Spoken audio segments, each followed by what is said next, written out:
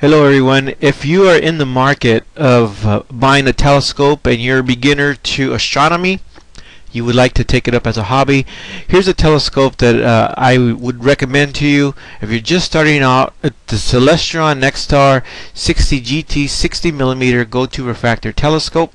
Uh, I can vouch that Celestron is a quality uh, company that makes uh, telescopes. Uh, I've had several Celestron telescopes in the past. This one is geared towards beginners. It has a 60 millimeter objective lens. Um, which is plenty to get your feet wet in astronomy.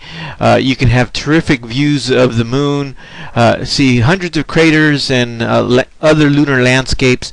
With this scope, you can also see Jupiter and at least two or three of its cloud belts and also its uh, four moons and compare them from night to night and see how they sh shift around the planet in its orbit occasionally even if you use a high high power eyepiece uh, for instance with this telescope it goes to uh, 175 uh, uh, power.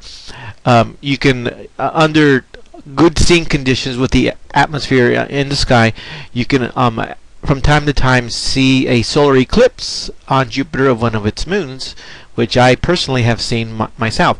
Um, the scope um, with this scope you can see over 4,000 celestial objects in its database. Uh, once you align it or, or polar align it, um, you just simply um, with this controller you can point to these several uh, or thousands of objects actually uh, without having to learn uh, any star maps. Now learning star maps is great fun, but if you're just in a hurry or if you live in an area uh, of the country where it's uh, it's a lot of cloudy nights and, and, during the winter and you don't have a, a lot of clear skies and the nights that you do have clear skies you don't want to spend your time hunting you just want to spend your time observing. This scope is great because it'll point to the object that you want to look at uh, really quick.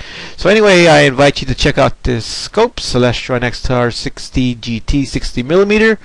Go to refractor telescope and you can go to the website www.60millimetertelescopestore.com. Thank you and have a good day.